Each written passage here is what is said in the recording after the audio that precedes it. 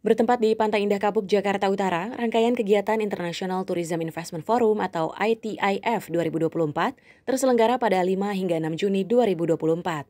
Dalam sambutannya, Menteri Pariwisata dan Ekonomi Kreatif Sandiaga Uno mengungkapkan bahwa tahun lalu Indonesia telah mencatat investasi lebih dari 3 miliar dolar Amerika Serikat di bidang pariwisata. Namun sebenarnya jika dilihat untuk tren investasi mencapai 80% persen hanya ada di hotel, restoran, dan kafe.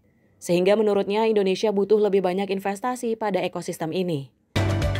We are investing in not just the three P's of people, planet, and prosperity, but we are also adding peace and partnership.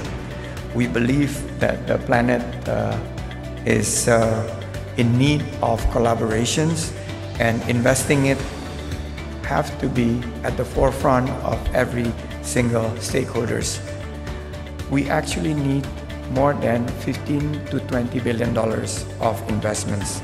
So this is very very crucial that we launch this International Tourism Investment Forum.